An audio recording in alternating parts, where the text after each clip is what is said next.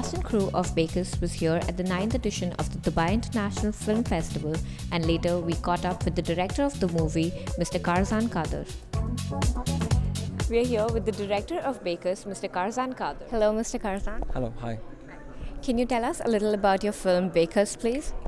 Uh, Bekas uh, is a story about uh, two little brothers, uh, Zana Dana, uh, who lives in a little village in Kurdistan in uh, Iraq, and um, uh, they they are Bekas. They have no parents, no they they only have each other. So one day uh, in the village they see Superman's film in the cinema, and they believe that Superman is for real. And because of uh, speaking English, he lives in, uh, in America. So they're making a big project and plan to, to get to America to meet Superman and uh, to tell, uh, bring him back to Kurdistan to get rid of Saddam and, and his army. And uh, the plan is to, to uh, go to America on a, on a donkey. So um, uh, it's a adventure, uh, drama, comedy, and yeah, it's a nice warm film. how did the title Bekas come about? Uh, you know, the thing is, uh, in the war, a lot of people became bekas. Um, be, uh, you know, uh, they lost their, par- their, their families, and uh, the boys has uh, only each other.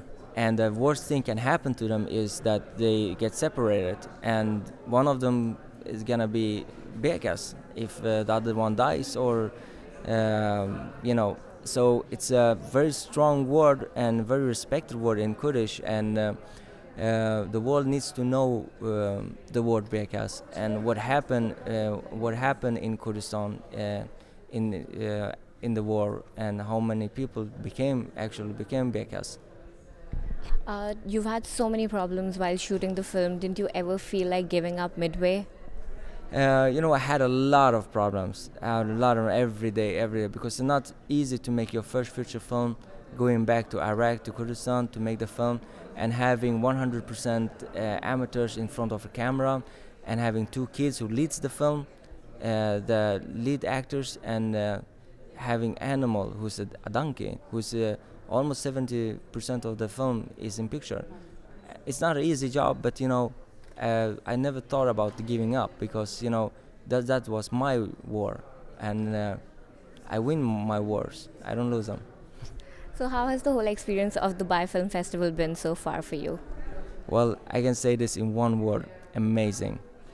It's beautiful. It's uh, you know um, everybody's so kind and and I'm loving being here. Everybody talks about film, and that's the the great thing. And and you know being in one place and having so many many people talking about film, film, film, film, and film, and that's a huge thing. That's my life, and uh, uh, this is my first time being here, and. Uh, uh, to be part of Dubai International Film Festival is a huge part of my life right now because you know it's my first time and it's my first feature film and um, you know I'm enjoying every second. And the boys are, are here too and uh, they never left Kurdistan before. This is the first time ever in their life they're living uh, going outside Kurdistan.